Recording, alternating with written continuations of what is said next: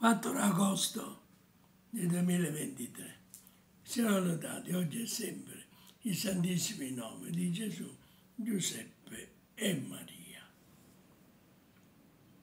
C'è un grande santo, parroco,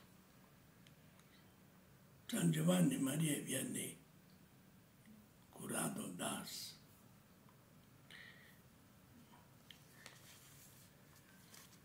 Qualcuno scherzando diceva che è l'unico parroco santo, ma non è vero, ci sono stati altri parroci e santi. È nato a Dardilly, in Francia, nel 1786 e morto ad As nel 1859. Fu ordinato sacerdote con l'aiuto di un, di un parroco. E la raccomandazione potente.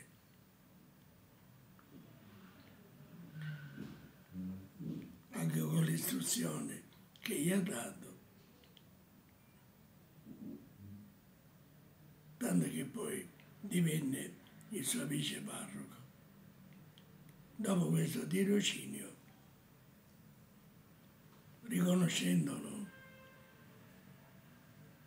insomma, ignorante,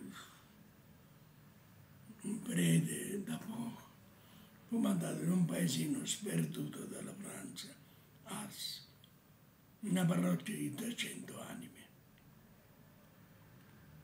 Non si abilì, non si scoraggiò, si mise dinanzi al Santissimo Sacramento digiunando e pregando.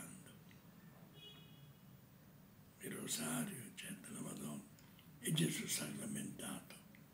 Tanto che i parrocchiani, non vedendolo per alcuni giorni, cominciarono a preoccuparsi e con questa occasione cominciarono a conoscerlo. Tanto che lo conobbero che quei 300 fedeli diventarono veramente fedeli.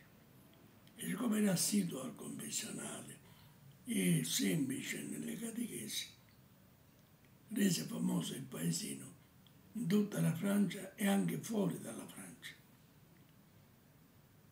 che venivano a trovarlo da lontano, credenti e non credenti, e venivano convertiti.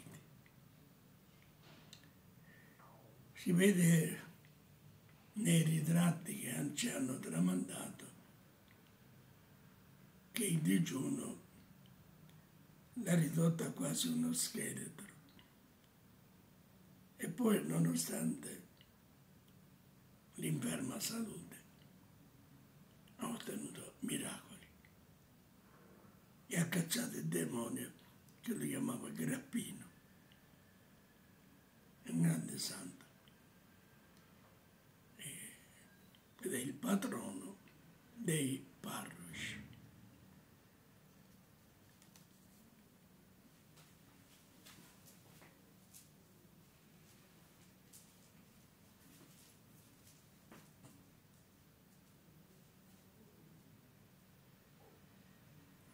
Il Vangelo è di San Matteo, capitolo 13, versetti 54, 58.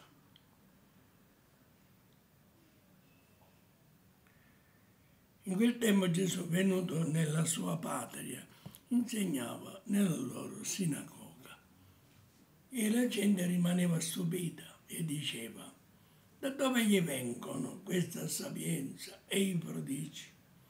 Non è questo il figlio del falegname e sua madre non si chiama Maria e i suoi fratelli Giacomo, Giuseppe, Simone e Giuda e le sue sorelle non stanno tutte tra di noi. Da dove gli vengono allora tutte queste cose? Ed era per loro motivo di scandalo. Ma Gesù disse loro, un profeta non è disprezzato se non nella sua patria e in casa sua. E lì, a causa della loro incredulità, non fece molti prodigi. Parola del Signore lode a Dio Cristo.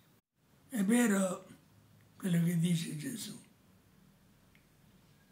Nessun profeta è accetto nella propria patria e tra i suoi.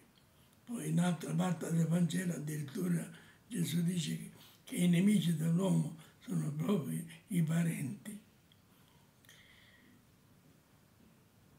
Ora, ma anche se è vero, deplorevole l'atteggiamento dei suoi paesani perché anche se lo conoscevano come un operaio, sapevano dei prodigi e della saggezza, tanto che si meravigliano.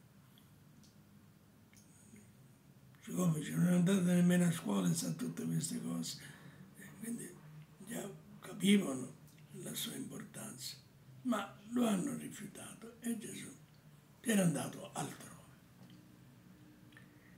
Come se gli ebrei hanno rifiutato Gesù. Gli apostoli, mandati da Gesù, sono andati altrove. Perché la parola di Dio deve essere conosciuta ed è potente ed efficace, non ha confini e nemmeno fallimenti.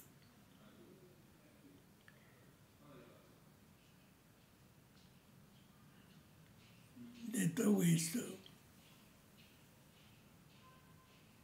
cerchiamo con tutte le orecchie aperte di ascoltare la parola di Dio, non rifiutarla e metterla in pratica. Amen. La parola di Dio non è legata. L'ultima parola parla degli atti degli apostoli. San Paolo è prigioniero e riceveva gente per annunciare Gesù morto e risorto, vivo. Dice la parola di Dio non è legata, è inarrestabile la parola di Dio. C'è anche un'altra frase della Sacra Scrittura Dice Signore, la mia parola è come la pioggia, non torna a me senza aver dato il suo frutto. Sta a noi annunciare e ricevere. Il Signore sia con voi. Signore vi custodisca e vi protegga. Signore faccia risplendere su voi stavolta e vi dia la sua misericordia. Signore rivolga il suo sguardo verso di voi e vi dia la sua pace. E la benedizione di Dio Onnipotente, Padre, Figlio e Spirito Santo, discenda su di voi e con voi rimanga sempre. Amen. Specialmente per i sofferenti, che la parola di Dio sia efficace. Con l'aiuto potentissimo di Maria Santissima, vicino degli Apostoli, e tutti i santi e gli angeli, con la capo San Miguel Arcangelo, San Bene e San Raffaele. Pace e bene pace e gioia.